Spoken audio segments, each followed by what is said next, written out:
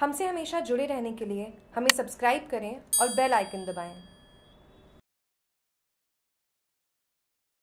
Bike पर आए चोर और सुने मकान पर कर गए हाथ साफ़। जोधपुर शहर में अब चोरों ने दिन में भी सुने मकानों में चोरी करना शुरू कर दिया है। बुधवार को शहर के न्यू पावर हाउस रोड स्थित फोर एफ़ सेक्टर उन्यासी में एक मकान में बाइक पर आए अज्ञात चोर, ताले व कुंडी तोड़ माल लेकर चलता बना। दरवाजे को लातों से थोक कर खोला जाना बताया जा रहा है। सूचना पर शास्त्री पुलिस ने मौका मुआयना किया।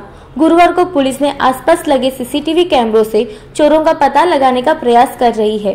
इस बारे में भवन मालिक की तरफ़ से पुलिस में रिपोर्ट दी गई थी। शास्त्रीनगर पुलिस ने बताया कि रेलवे डीआरएम कार्यालय के कार्मिक प्रमुख गोड़ के मकान में चोरी हुई थी। वे सुबह अपनी ड्यूटी पर चले गए थे। उनकी पत्नी भी मथुरादास माथुर अस्पताल में अपनी ड्यूटी पर चली गई थी। सुबह साढ़े दस बजे से लेकर डेढ़ बजे तक घर सुना था।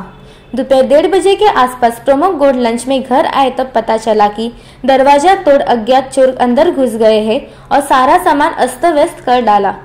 अलमारियों से भी कपड़े आदि पलंग पर बिखर दिए।